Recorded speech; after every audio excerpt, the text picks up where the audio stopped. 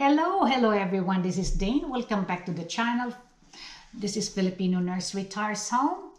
And please comment, share, and subscribe. And I thank you for all your participation to the channel. And I know it takes time sometimes to make comments, but I really enjoy that. And I just um, did some response for about two hours straight for 50 people there. So it was nice. And I told my husband, if this is gonna get you know, get more and more the comments and everything. I'm gonna tell him to help me out with the response and everything. See, he's kind of enjoying and very excited for me actually with the channel because it's slowly going up. So that is good. But otherwise, guys, we're gonna talk about retirement visa. I'm only gonna talk about two kinds of visa, 13A visa as well as the SRRV visa.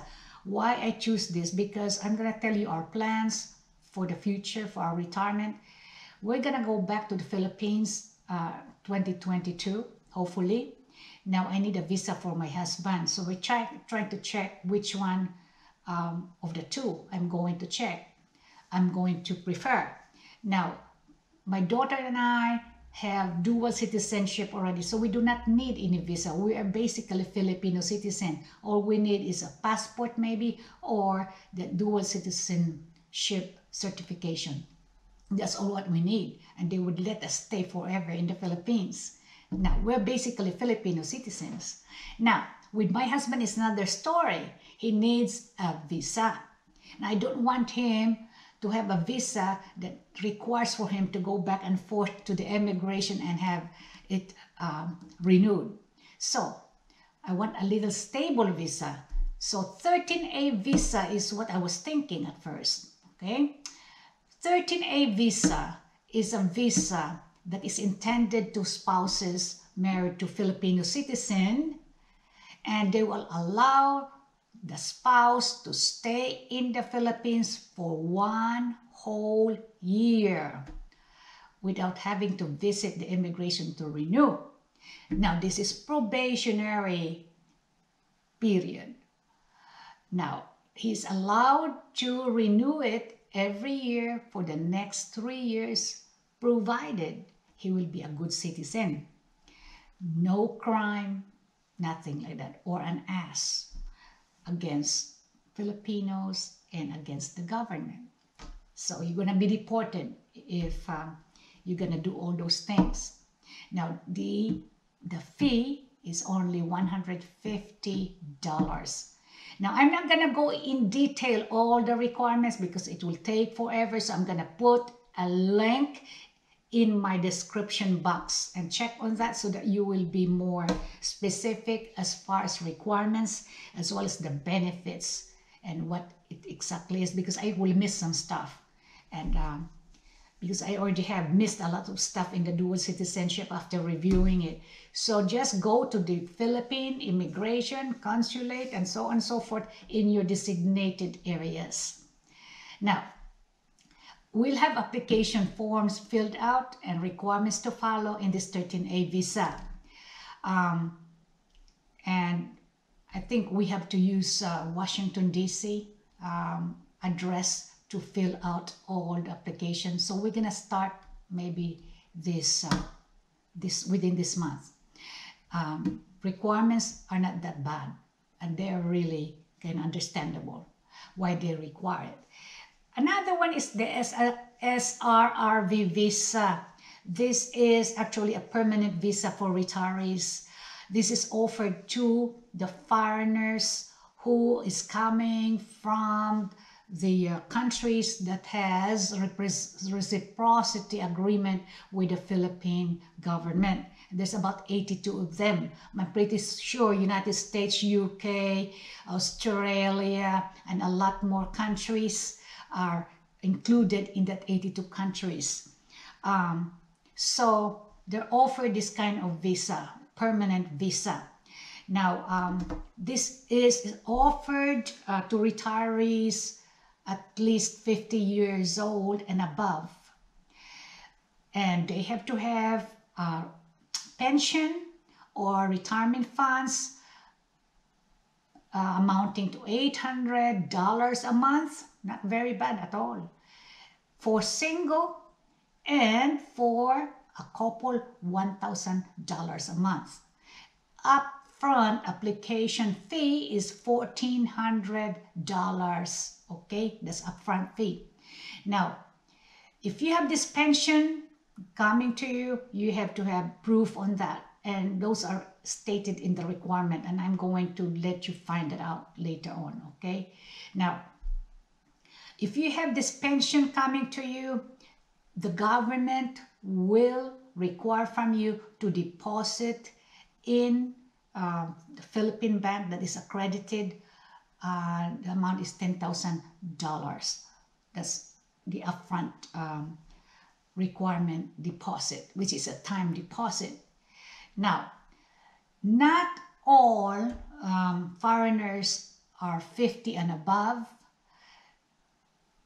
and not all foreigners that's 50 and above has pension of 800 or $1,000 a month. So for this reason, they still would have to pay $1,400 for application, but they are required to deposit, time deposit 20,000 into the Philippine accredited bank. Now, there's a lot of benefits that comes with this. It's more stable kind of visa. The benefits of this are really nice. Number one, multiple entry. You can go back and forth into the country and out. No exit clearance, no re-entry permits. Your travel tax, provided you stay in the Philippines for less than one year, you are exempted. However, after a year, more than a year, then you're gonna pay for travel tax. It's only about $20 anyway. Every Filipino, don't complain because every Filipino has to pay for that whenever they exit out of the country. And you can convert this deposit that I was talking about, the 10000 or the $20,000. You can convert this and make um, purchase on a condo. You can use that for townhouse or long-term lease. So this time you can probably lease, lease a farm for 25 years. And uh, anyhow, guys, um, there's another one is tax-free on interest on foreign currency deposit and payable to the retiree in peso. Guaranteed rep repatriation of the required deposit, including invested profits, cap gains, and dividends accrued from investment upon compliance of the central bank rules and regulation. So it's going to be given back to you if you decide to get out of the country. That's what it meant. And as I have said, all details that I left out, my goodness, check. All right, check and research for that. So there's a bunch of um, requirements that you have to comply. Now, since we're talking about the banks that are accredited, there's a lot of recommended ones. Number one, I would use BPI, and I think the down payment on that to to um, to start is about five hundred dollars. BDO six hundred dollars. Metro Bank, Met Metropolitan Bank, PNB that's Philippine National Bank, Security Bank, um, BPI. I already mentioned that to you. Now there is one bank that is HSBC that's recommended by my sister but it is a little bit more to open that. So prepare at least 100 uh, about $1,000 to open um, to open. But HSBC would probably require you about 100,000 pesos. That's equivalent to $2,000 but the bank has better uh, customer service because they would they uh, said they would let you fall in line unlike the other banks that you have to fall in line. Now, what I would suggest to you guys, when you make your vacation and you're just deciding to go and retire in the Philippines, you get your wife to apply for a bank. uh, so that it's easy for you to transfer money back and forth by the way because before you open a bank there especially if you're coming from the foreign country they will oblige for you to show your um, copy of your IRS, the current one, the W-2, because that is the requirement of the um, American American government. I think to prevent money laundering. So um, you have to prepare all that before you go back to the Philippines so that you will not be sorry. And it takes time to apply in a bank in the Philippines, maybe about a day sometimes to just get all those requirements. So for easier um, application, I advise for you to call those particular banks and ask for them the requirements for you to be able to get started with your application rather than go there and apply and you're gonna be crying you know because you did not prepare and you cannot open an account easily so be proactive with everything you do before you retire in the Philippines. Now it seems like um,